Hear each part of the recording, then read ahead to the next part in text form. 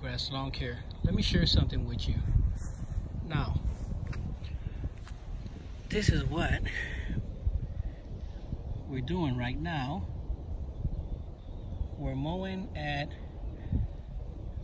three inches.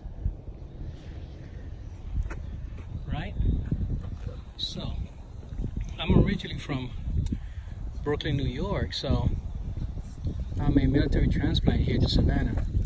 So I learn what I know by watching others in my area do what they do.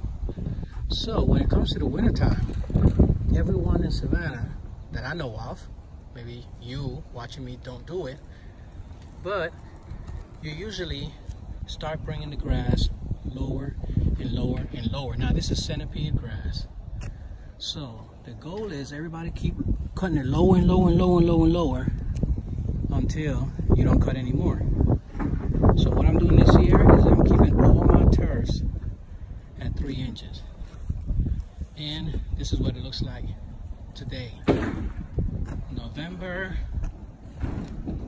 15th. And this is what my turf look like. And that's what we're gonna keep doing from this point on. See, everything is nice and green.